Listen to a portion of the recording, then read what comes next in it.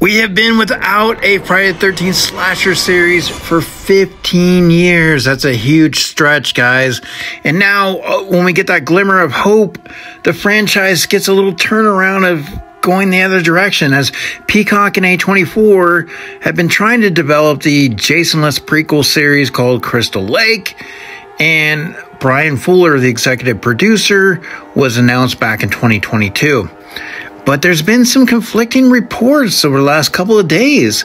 Like, is A24 gonna pull the plug on Crystal Lake and cancel the series? Well, it's still in development, and according to Bloody Disgusting, that's not the case. They obviously want the series to do well with the fans, and A24 has not axed the project. They are still moving forward. There's a little bit of retooling, some things are happening behind the scenes. No concrete information has presented itself, but you got to remember something.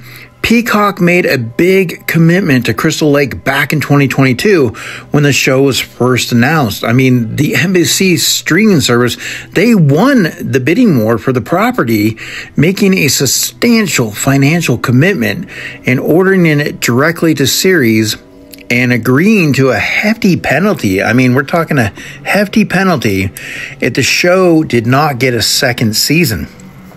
So Crystal Lake received what is essentially a two season order without even casting stars or rolling the cameras. Now, one of the things, Hannibal's Bryan Fuller, he was going to be the showrunner. I mean, he was going to be the writer, director, executive producer on the series. And, you know, there's no telling his involvement could be part of the behind the scenes shakeup. Um, so this is what Bloody Disgusting alluded to.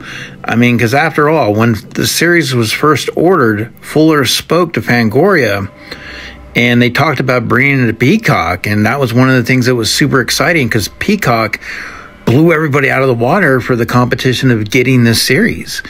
And so they definitely were going all in and they definitely wanted to make it recognizable for obviously the hardcore Friday the 13th fans, but they also wanted to bring an appeal for the new generation of people to enjoy the storytelling of Crystal Lake Friday the 13th.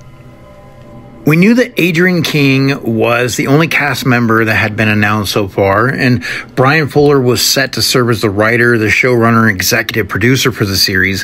And Victor Miller was also going to help with the producing with Marc Toberoff and Rob Barsamian, and of course, A24. Additionally, Scream creator Kevin Williamson was going to write an episode of the series. There has been many axed Friday the 13th projects over the years, and it's always seemed like Jason would never get a break.